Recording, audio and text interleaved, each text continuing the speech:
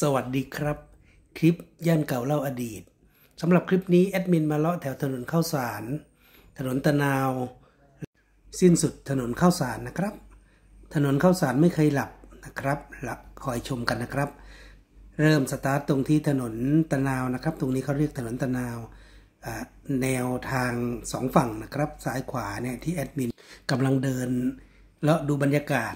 นะครับตึกเก่าๆตึกแถวอาคารพาณิชย์แบบเก่าๆให้สังเกตดีๆนี่ฮะตึกแถวแต่ละห้องแต่ละคูหาเนี่ยป้ายร้านเนี่ยจะเป็นภาษาอังกฤษทั้งนั้นนะครับ ไม่มีภาษาไทยปนเลยแสดงว่าแหล่งตรงนี้ก็คือตะนาวตรงนี้เนี่ยจะรองรับสำหรับลูกค้าหรือว่านักท่องเที่ยว เป็นหลักนะครับ แต่ก็มีคนไทยปะปนในเรื่องเนี้ยตรงนี้ที่ขายเป็นร้านอาหารร้านขนมปัง พวกนี้มีคนไทยมาซื้อบ้างเหมือนกันค่อนข้างที่จะเยอะหนาตาด้วย แต่ว่าโดยปกติแล้วร้านอื่นๆหรือว่าเจ้าอื่นนี่ก็จะจะเป็นป้ายเนี่ยจะใช้เป็นภาษาอังกฤษทั้งหมดนะครับ จะไม่ค่อยมี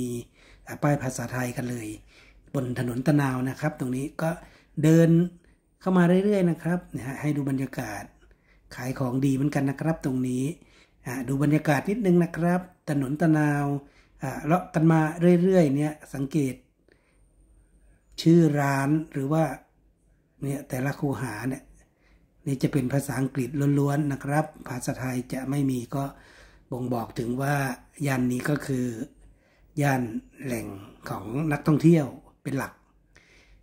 เนี่ยดูกันมาเรื่อยๆนะครับ ก็ค่อนข้างที่จะหนาตาเลยแหละนะครับสำหรับนักท่องเที่ยว ร้านก็จะเป็นร้านในแนวพวกซูวิเนียนะครับของที่ระลึกบ้าง หรือก็เป็นบริษัทเกี่ยวกับท่องเที่ยวหรือว่าประมาณนี้แหละนะครับ เป็นเกี่ยวกับท่องเที่ยวหรือว่าอีกหลาย ๆ อย่างนะครับเนี่ยมาเป็นครอบครัวกันก็มีนะครับดูกันไปเรื่อย ๆ นะครับนะตึกแถวนี้ก็ในแนวสถาปัตย์แบบดั้งเดิมนะครับ สองชั้นสวยงามนะโทนเดิมนะครับ โทนสีเหลืองก็นี่ฮะตรงนี้ก็จะเป็นในแนวของเขาเรียกว่าท่องเที่ยวนะครับ บริษัทท่องเที่ยวก็เที่ยวทั่วไทยอะไรประมาณนี้แหละนะครับก็เนี่ยฝั่งตรงข้ามก็เหมือนที่เคยเกริ่นไว้นะครับ ประมาณว่า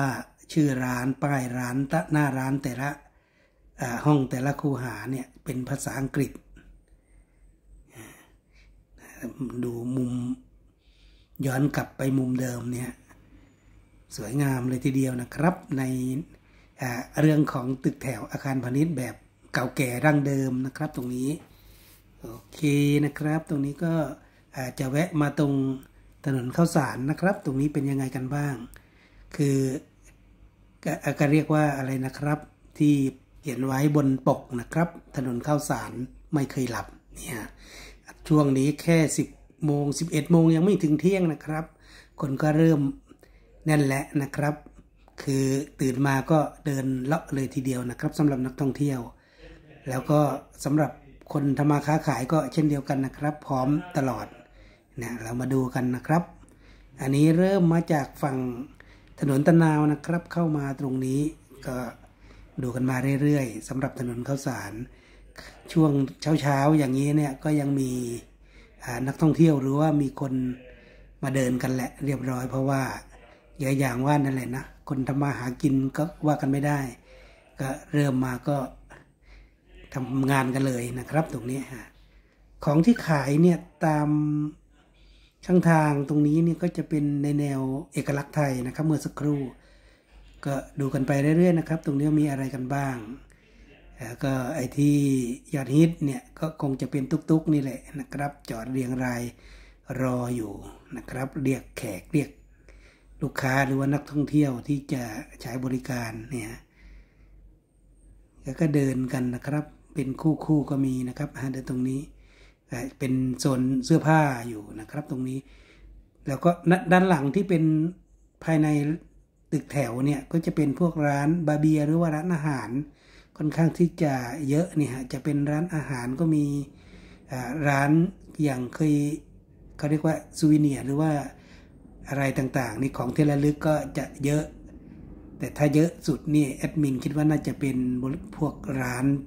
หรือบริษัทที่ทำเกี่ยวกับการท่องเที่ยวนะครับ ซึ่งตรงนี้เนี่ยก็จะเรียงรายลำดับต่อมาก็ก็จะเป็นพวกสักลายก็มีสักลายแล้วก็จะมี บาเบียแล้วก็อะไรอีกตรงหนึ่ง พวกเกสเฮาส์หรือว่านวด นวดก็เรียกแขกอยู่พอสมควรนะครับ เห็นมีการยืนแจกโบชัวกันอยู่ สักลายก็เป็นธุรกิจ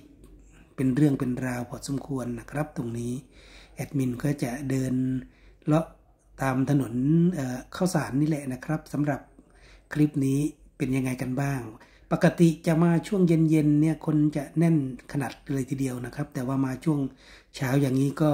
ไม่เบานะครับ นี่ก็ถือว่าเยอะแล้วนะครับ เพราะว่าเช้าระดับ 11โมงยังไม่ถึงเที่ยงเนี่ย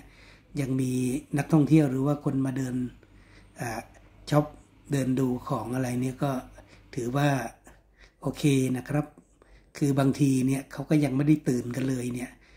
ตื่นมาก็ลงมาเดินกันเลยประมาณนี้นะครับเดินกันมาเรื่อยๆนะครับ ตรงนี้ก็ยังอยู่บนถนนข้าวสารชมบรรยากาศถนนข้าวสารเนี่ยก็จะมีเขาเรียกว่าเซลล์หรือเปล่านะครับ ตรงนี้เรียกแขกชักชวนนะครับ ไปท่องเที่ยวที่ไหนอะไรยังไงนี่เขาก็จะมีโปรแกรมเขาอยู่นะครับ สนุกนะครับ ถ้าเราเป็นนักท่องเที่ยวต่างชาติ ถ้ามาตรงนี้เราก็คงอยากจะไปเที่ยวที่นู่นที่นี่อะไรประมาณนี้นี่ฮะแท็กซี่ก็เยอะจอดรอคนอยู่เนี่ยดูกันมาเรื่อยๆครับบางเจ้ายังไม่ตื่นนะครับ ยังไม่เปิดร้าน บางเจ้าก็เปิดกันและเรียบร้อยเพราะว่ายังยังคือจะว่ากันตรงๆนี่มันก็ยังแค่ไม่ถึงเที่ยงเนี่ย ก็ มันยังไม่ยังไม่ตื่นกันแหละนักท่องเที่ยวเขาก็ยังนอนหลับไหลกันอยู่ แต่ว่าถนนข้าวสารเนี่ยก็ไม่เคยหลับนะครับ เปิดตลอดแหละยิ่งดึงดีช่วงบายเย็นๆเนี่ยคอยมาดูมาเดินนี่แทบจะแบบเบียดเสียดกันเต็มที่เลยนะครับ ตรงนี้ โอเคครับแอดมินก็เดินกันมาเรื่อยๆนะครับ ตรงนี้จนจะสุดถนนแหละนะครับ จุดถนนข้าวสารเนี่ยก็จะเป็น ถนนจักรพงศ์ฝั่งตรงข้ามก็คือวัดชนะสงคราม เนี่ยตรงนี้มีที่จอดรถด้วยนะครับในวัด เนี่ย